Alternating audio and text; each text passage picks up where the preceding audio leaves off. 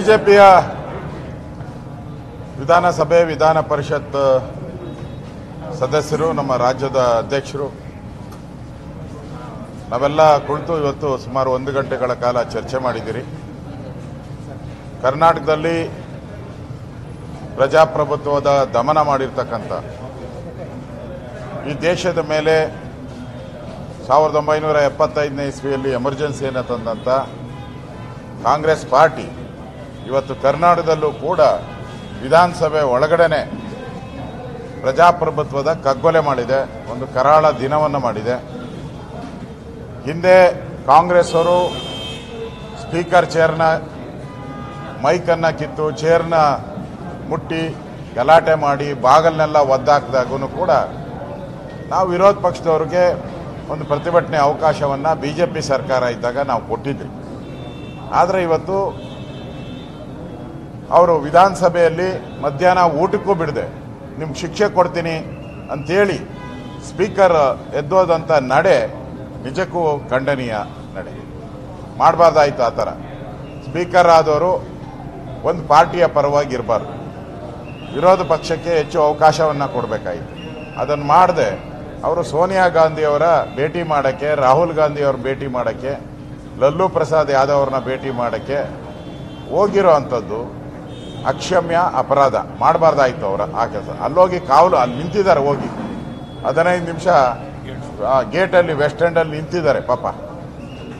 ಒಂದು ರೀತಿ ಸ್ಪೀಕರ್ ಸ್ಥಾನಕ್ಕೆ ಒಂದು ರೀತಿ ಅಗೌರವ ಆದಂಗೆ ಆಗುತ್ತೆ. ಇವತ್ತು ನಮ್ಮ ಹೋರಾಟ ಐ ಎ ಎಸ್ ಅಧಿಕಾರಿಗಳು. ಕಾನೂನು ಬಾಹಿರವಾಗಿ ಅವರನ್ನು ಉಪಯೋಗ ಮಾಡ್ಕೊಂಡು ಎರಡು ದಿನ ಈ ಕಾಂಗ್ರೆಸ್ ನಾಯಕರು ಬೇರೆ ಬೇರೆ ನಾಯಕರ ಬಾಗಲ್ ಕಾಯೋಕ್ಕೆ ಅವಕಾಶ ಮಾಡಿಕೊಟ್ರಲ್ಲ, ಇದು ಅಕ್ಷಮ್ಯ ಅಪರಾಧ. ಅವ್ರಿಗೆಲ್ಲ ಸಂಬಳ ಕೊಡೋದು ಕರ್ನಾಟಕದ ಬಡರ ಜನರ ಟ್ಯಾಕ್ಸ್ ಪೇ ಅಮೌಂಟು ಬಡವರ ಹಣ ಅವರ ನೌಕರಿಗೆ ಅವರಿಗೆ ಸಂಬಳ ಕೊಡುವಂಥದ್ದು. ಅಂಥ ಹಣವನ್ನು ದುರುಪಯೋಗ ಮಾಡಿದ್ದೀರಾ ಅಂಥೇಳಿ ನಾವು ನ್ಯಾಯ ಕೇಳೋಕ್ಕೆ ಪ್ರತಿಭಟನೆ ಮಾಡಿದ್ದೆವು ಬೇರೆ ಏನೇ, ಬೇರೆ ಯಾವುದೇ ವೈಯಕ್ತಿಕ ವಿಚಾರ ಇಲ್ಲಿಲ್ಲ. ಸರ್ಕಾರದ ಹಣ ದುರ್ಬಳಕೆ ಆಗಿದೆ. ಸರ್ಕಾರ ಅಧಿಕಾರಿಗಳನ್ನು ಕಾಂಗ್ರೆಸ್ಸಿನ ಸಮಾವೇಶಕ್ಕೆ ಕರ್ಕೊಂಡೋಗಿದ್ದೀರಾ? ಇದು ತಪ್ಪು. ಅಪರಾಧ, ಅಕ್ಷಮ್ಯ ಅಪರಾಧ ಅಂತ ಕೇಳಿದ್ಕೆ ನಮ್ಮನ್ನು ಶಿಕ್ಷೆಗೆ ಗುರುಪಡಿಸಿದ್ದಾರೆ. ಹತ್ತು ಜನನ ಅಮಾನತ್ ಮಾಡಿದ್ದಾರೆ. ನಮ್ಮನ್ನು ಪೊಲೀಸರಿಂದ ತಳ್ಳಾಟ ಮಾಡಿಸಿದ್ದಾರೆ. ಸ್ಪೀಕರ್ ಆಫೀಸ್ ಮುಂದೆನೂ ಕೂಡ ಅಲ್ಲೂ ಕೂತ್ಕೊಳ್ಳೋಕೆ ಅವಕಾಶ ಇದೆ. ಅಲ್ಲಿಂದನೂ ಹೊರಗಡೆ ಹಾಕಿದ್ದಾರೆ. ವಿಧಾನಸೌಧದ ಮುಂದೆ ಕೂತ್ರೆ ಅಲ್ಲಿಂದನೂ ಹೊರಗಡೆ ಹಾಕಿದ್ದಾರೆ. ಅಂದರೆ ಎಲ್ಲ ಕಡೆ ದೌರ್ಜನ್ಯ, ಧಮಕಿ ಹಾಕುವಂಥದ್ದು, ಮಾಡಿರೋವಂಥದ್ದು ಅದರ ವಿರುದ್ಧ ರಾಜ್ಯಾದ್ಯಂತ ಪ್ರತಿಭಟನೆ ಮಾಡಬೇಕು ಅಂತ ನಮ್ಮ ರಾಜ್ಯಾಧ್ಯಕ್ಷರು ಇವತ್ತು ಮಾತಾಡಿದ್ದಾರೆ. ಅವರು ಕೂಡ ಇದರ ಬಗ್ಗೆ ಸ್ಪಷ್ಟನೆಯನ್ನು ಕೊಡೋರಿದ್ದಾರೆ. ಇಡೀ ರಾಜ್ಯದಲ್ಲಿ ಈ ಸರ್ವಾಧಿಕಾರಿ ಧೋರಣೆ, ವಿರೋಧ ಪಕ್ಷವನ್ನು ಬಗ್ಗುಬಡಿಯುವಂಥ ಧೋರಣೆಯನ್ನು ಮಾಡ್ತಾ ಇದ್ದಾರೆ. ಅವರ ಕಾಂಗ್ರೆಸ್ಸಿನ ರ್ಯಾಲಿ ಸಕ್ಸಸ್ ಆಗಬೇಕು. ದೇಶದ ಮೂಲೆ ಮೂಲೆಯಿಂದ ಬಂದಿದ್ದಂಥ ಪುಡಿ ಪುಕ್ರೆ ಲೀಡರ್ಗಳಿಗೆ ಭಾಳ ಒಂದು ಮೈಲೇಜ್ ಕೊಡಬೇಕು ಅಂತೇಳಿ ಏನು ಮಾಡಿದ್ರು ಅದಕ್ಕೆಲ್ಲಿ ಅನಾಹುತ ಆಗೋಯ್ತಲ್ಲ ಇದು. ದೊಡ್ಡ ಆಘಾತ ಆಗೋಯ್ತು ಆ ಬಂದಿದ್ದು ಸಭೆ ಪೂರ್ತಿ ಫೇಲ್ಯೂರ್ ಆಗೋಯ್ತು ಈ ಇಶ್ಯೂ ಇಶ್ಯೂನಿಂದ ಅದರಿಂದ ಅದನ್ನು ಮುಚ್ಕೋಣ ಅಂತದಕ್ಕೆ ನಮ್ಮನ್ನೆಲ್ಲ ಸಸ್ಪೆಂಡ್ ಮಾಡಿದ್ದಾರೆ. ಅದರ ವಿರುದ್ಧ ರಾಜ್ಯಾದ್ಯಂತ ಹೋರಾಟವನ್ನು ಮಾಡೋ ಅಧ್ಯಕ್ಷರು ಸೂಚನೆಯನ್ನು ಕೊಟ್ಟಿದ್ದಾರೆ. ಈಗ ಈಗ ಮಹಾತ್ಮ ಗಾಂಧಿ ಸ್ಟ್ಯಾಚ್ಯೂ ಹತ್ರ ನಮ್ಮ ಎಂ ಎಲ್ ಸಿಗಳು ಕೂಡ ಎಂ ಎಲ್ ಸಿಗಳು ವಿಧಾನ ಪರಿಷತ್ಗೆ ಹೋಗಲ್ಲ. ನಮ್ಮ ಎಂ ಎಲ್ ಎಗಳು ನಾವು ಹೋಗಲ್ಲ. ನಾನು ಅವತ್ತು ಸಸ್ಪೆಂಡ್ ಆಗಿದ್ದೀರಿ ಅವ್ರು ಯಾರು, ನಮ್ಮವ್ರು ಯಾರು ಹೋಗಲ್ಲ.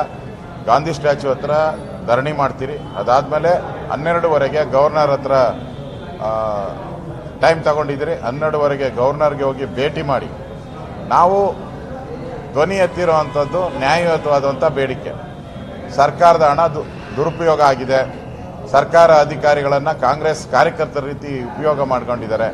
ಇದರ ವಿರುದ್ಧ ನಾವು ಮನವಿ ಕೊಟ್ಟಿದ್ದಕ್ಕೆ ನಮ್ಮನ್ನು ಸಸ್ಪೆಂಡ್ ಮಾಡಿದ್ದಾರೆ.